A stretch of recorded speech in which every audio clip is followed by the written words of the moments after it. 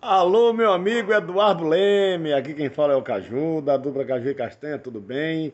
Estou passando por aqui para te dar os parabéns, desejar toda a felicidade do mundo, um feliz aniversário, que Jesus abençoe mais e mais a sua vida, tá bom, meu irmão?